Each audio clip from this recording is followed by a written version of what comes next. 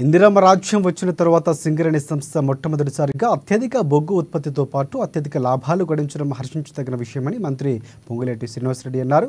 Congress party ప్రభుత్వం కార్మిక పక్షపాత ప్రభుత్వమని కార్మికులందరికీ ఖచ్చితంగా అండగా ఉంటుందని వివరించారు.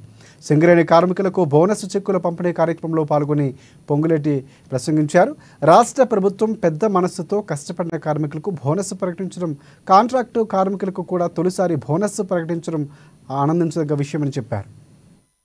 ఉద్యోగస్తులకు కానీ ఆ ప్రాంత ప్రజలకు కానీ ఏదైనా వైద్య రీత్యా ఇబ్బంది జరిగినప్పుడు కార్పొరేట్ హాస్పిటల్ అంటే ఎమ్మటే అంబులెన్స్లు ఎక్కించి హైదరాబాద్కు షిఫ్ట్ చేస్తున్నాం ఈనాడు.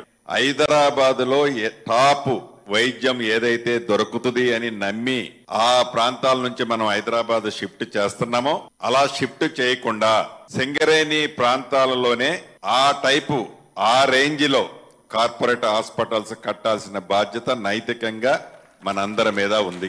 అదే దిశలో విద్య పట్ల కూడా. విద్య పట్ల కూడా హైదరాబాద్లో ఉండే టాప్ ఎడ్యుకేషనల్ ఇన్స్టిట్యూషన్స్ ఏవైతే ఉన్నాయో వాటన్నిటినీ సమవుజ్జీలో తగ్గకుండా సింగరేణి ప్రాంతంలో కార్మికులతో పాటు ఆ ప్రాంత ప్రజలకు కూడా మనం పూర్తి భరోసా ఇవ్వాల్సిన అవసరం ఉంది. ఈ రెండిట్లో ప్రత్యేకమైన శ్రద్ధ తప్పకుండా ఇందిరమ్మ రాజ్యంలోని ఈ ప్రభుత్వం తీసుకుంటుంది.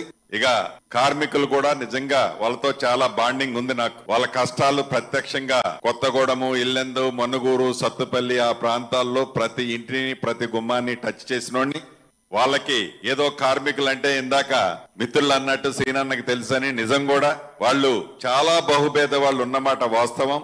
తప్పకుండా ఇళ్ళకి సంబంధించిన విషయంలో కేబినెట్లో గౌరవ ముఖ్యమంత్రి గారి నాయకత్వంలో ఉప ముఖ్యమంత్రి గారి శ్రీధరబాబు గారు మేమంతా ఒక నిర్ణయం తీసుకోవాల్సిన అవసరం ఉంది.